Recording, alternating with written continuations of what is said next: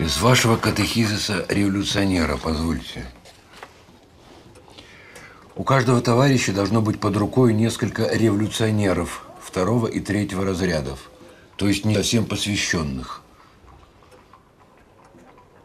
Когда товарищ попадает в беду, решая вопрос, спасать его или нет, революционер должен соображаться не с какими-нибудь личными чувствами, но только с пользой революционного дела.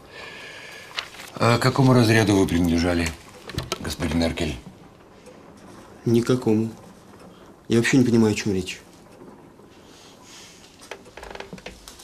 Андрей!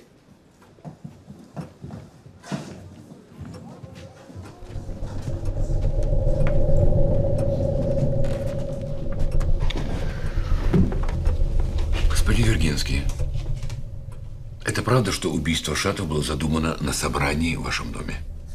Правда -с. Не улыбайтесь так, юноша. Мы все преданы. Зачем же выгораживать человека, которому на нас наплевать?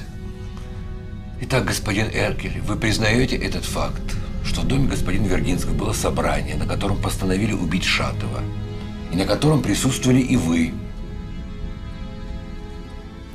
Мы просто пили чай. Это разве запрещено законом?